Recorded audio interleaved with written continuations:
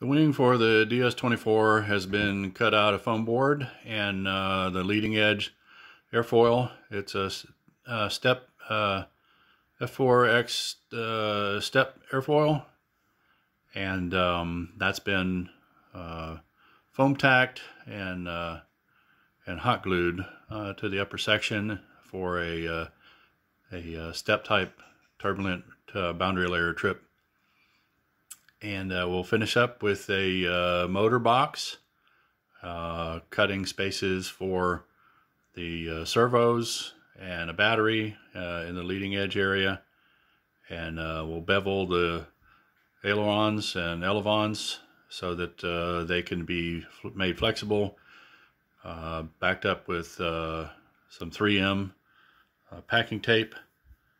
and then we'll balance this out and do some flight testing on the avionics and the receivers.